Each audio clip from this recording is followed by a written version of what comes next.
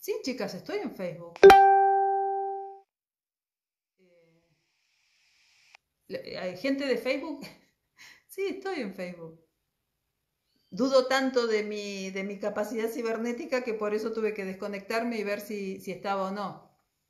Pero sí.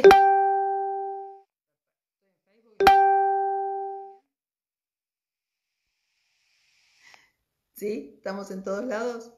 Listo. Normita, listo, Normita, te creo. Bueno, las doy vuelta. Caro, no estoy en dónde. No, tal vez no me estás viendo. Ahora sí. Bueno, listo. Solucionado el problema, arrancamos. Las empiezo a dar vuelta. En su posición. Esperen que tengo que dar las vueltas. Acá. Muy bien. Ustedes vienen acá.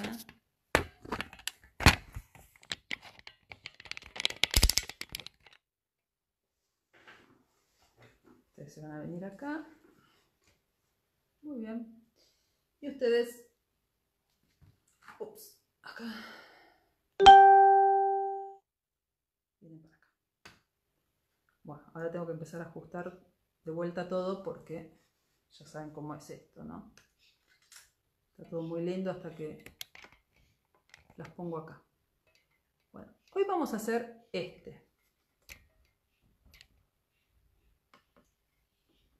Este que está acá. Ahí está. Tiene cosas lindas que me gustaron para, poder eh, enseñarles diferente a los que veníamos haciendo. Igualmente, siempre es como que tienen una misma estructura o una estructura parecida, pero todos los días algún punto nuevo vamos eh, incorporando. Y los que no son tan nuevos, viene bien porque hay gente que no sabe bordar y está aprendiendo y entonces está bueno que le refresco. Tengo los tres círculos como siempre. Acá abajo de todo, el que casi no se ve, es un círculo amarillo. Después tengo un círculo color blanquecino y después tengo un círculo verde. Este es como el, fuerte del día de hoy, este tipo de entrelazado que les voy a enseñar. Estas especies de, como de ramitas y enganchar mostacillas de a 3 Así que bueno, hay un montón para aprender, vamos a trabajar.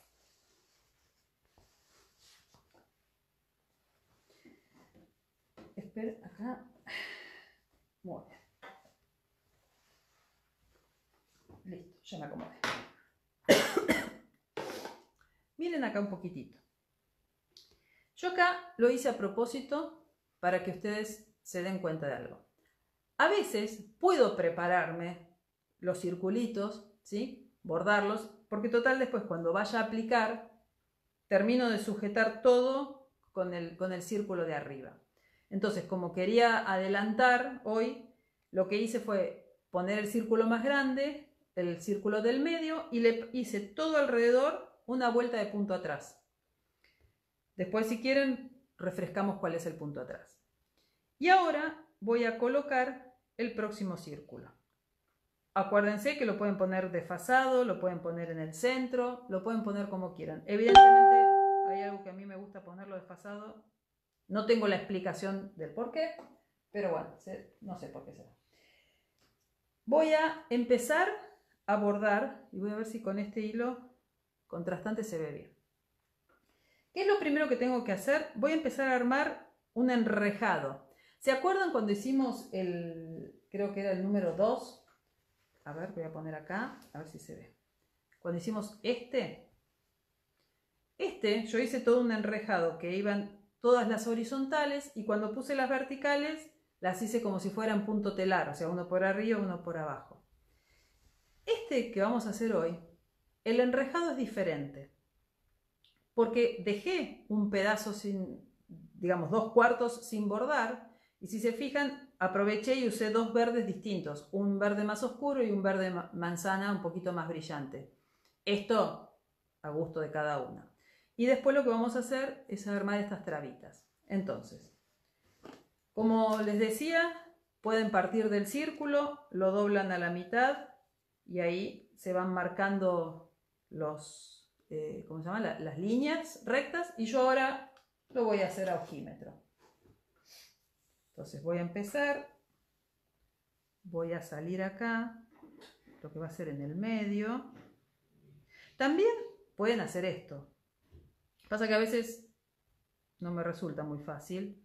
Me puedo marcar el mismo. Lo que pasa es que el pañolensi para marcarlo es medio, medio durito. Pero ahí está.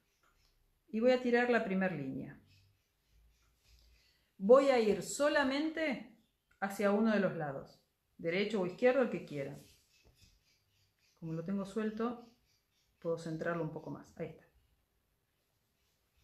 La idea es que no hagan las, líneas muy, muy cerquita, porque después si no, no voy a tener espacio para hacer los, esos cuadraditos que, que necesito para hacer el enrejado. Ahí, pincho. Tampoco me estoy preocupando de sujetar el círculo violeta, o sea, no estoy pinchando sobre el círculo violeta, porque total después, cuando haga las otras puntadas, ahí me va a quedar sujeto. Si no, si quisieran pueden hacerlo, pero no les va a quedar tan, tan parejito el, el punto. Entonces vengo ahí, pongo acá, pincho y me da para hacer uno más bien cerquita del borde. Que por más que sea chiquitito, está bueno que lo hagan ahí y ahí. Bien. En el que hice yo, el otro, cambié de color, pero ahora por una cuestión para que se note bien voy a seguir con el mismo blanco. Ahora voy a hacer las que cruzan. Entonces.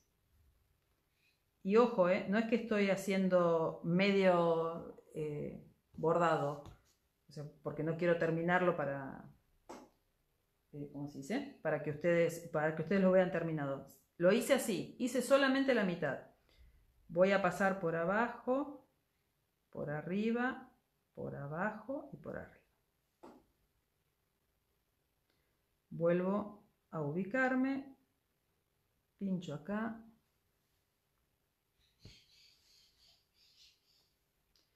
Como no puedo leer los mensajes, si quieren, todas las dudas, eh, guárdenlas un, ratito y después cuando terminamos de, bordar, ahí sí, ya doy vuelta al celular y puedo leer todas las dudas que tengan. Eh, si no, igual después las respondo, o sea, las, leo después cuando, cuando termino el vivo y se las respondo siempre por privado. Este me quedó por arriba, entonces empiezo por abajo. Por abajo, por arriba, por abajo y por arriba. Sería ideal que usen la parte de atrás de la, de la aguja. Voy a ubicar ahí, pincho y voy para abajo.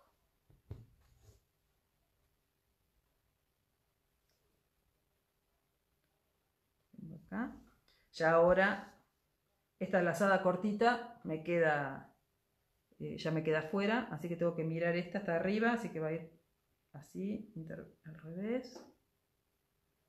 Muy bien. Pincho acá.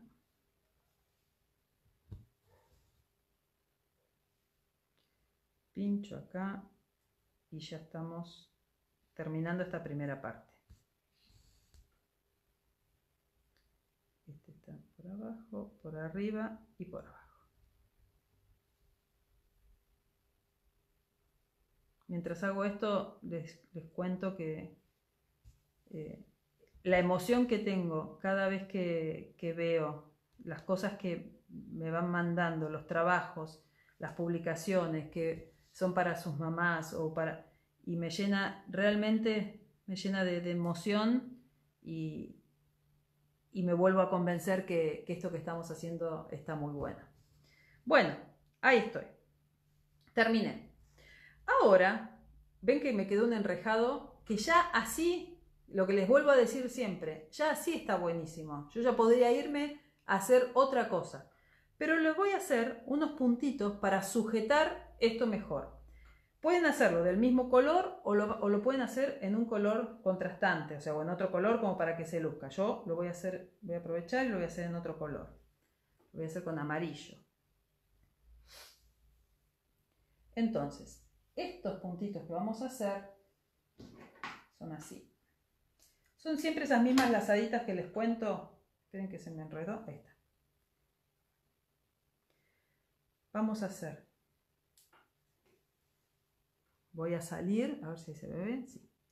Voy a salir cerquita, bien cerquita de la intersección. A ver, voy a mostrar acá. Voy a salir siempre bien cerquita de la intersección de, los, de estos hilos que cruce que se llaman trama y urdimbre eh, si estuviera haciendo un telar. Entonces saco y vuelvo a pinchar al lado. Acá es de la parte que les decía que quedaba el, el, círculo violeta, ahora sí ya me queda sujeto a la tela. Y si quiero, puedo hacer con el mismo o con otro color otra crucecita en sentido contrario. Otra en sentido contrario. Ahora yo les voy a mostrar, porque en realidad en el mío yo jugué con, los dos verdes. Hice unas, unas en verde clarito y la otra en verde más oscuro, que parece una, una sutileza, pero cuando después uno ve todo el conjunto, queda, queda lindo. Ahí.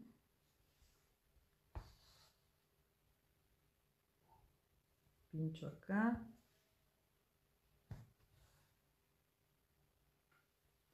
y después, si quiero, pincho en el sentido contrario y formo la crucecita. Esto da posibilidad a que hagan un montón de experimentos, que prueben un montón de cosas. Algunas me escribían y me decían que habían, eh, como que no se habían eh, ajustado al diseño que les enseñé.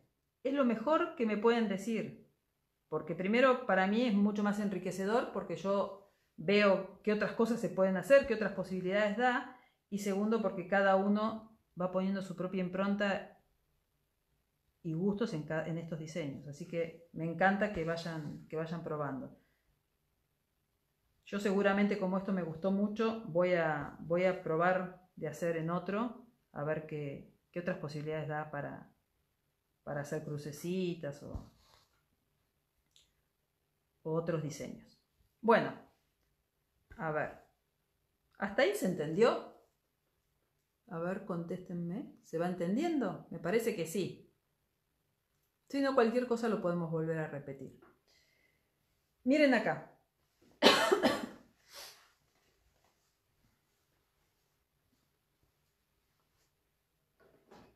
Ahí está. A ver, esperen.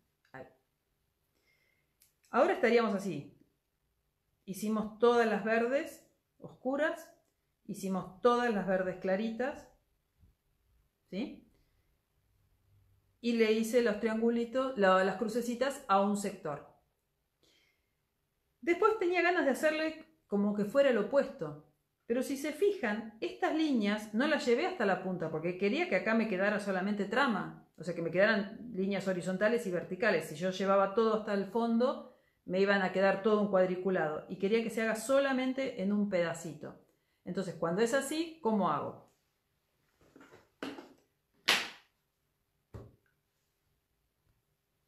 Lo voy a hacer con el amarillo como para que se note, se note más.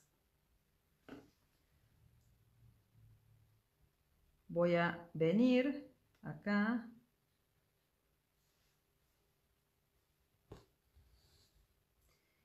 Y tengo que pinchar justito ahí abajo de, la, de esta hebra que tengo, ahí abajo pincho.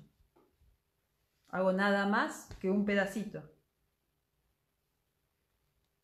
Otra vez, vuelvo a contarles lo, de lo, que les decía ayer en algún punto seguramente. No salgo acá al lado. Lo ideal sería, para que me quedara prolijo atrás, salir en la puntada pegadita, pero me cuesta mucho en, eh, que me quede escondida debajo de la hebra. Entonces, bueno, desperdicio un poco más de hilo eh, la parte de atrás no me, no me afecta que no esté impecable, total va a ir forrado mi bolso, así que me vengo para acá. Presento el lugar, empujo un poquitito la hebra blanca y pincho. Y voy a hacer una última.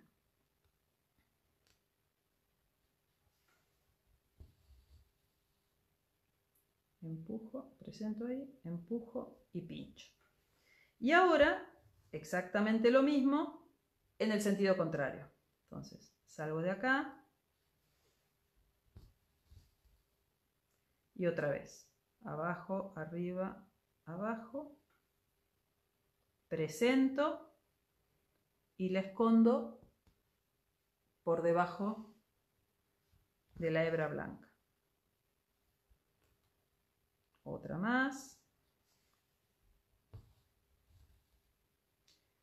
Esta está, a ver cómo está. Esta está por arriba, así que está por abajo, así que tiene que ir por arriba, por abajo. Presento y pincho ahí abajo. Y voy a hacer la última.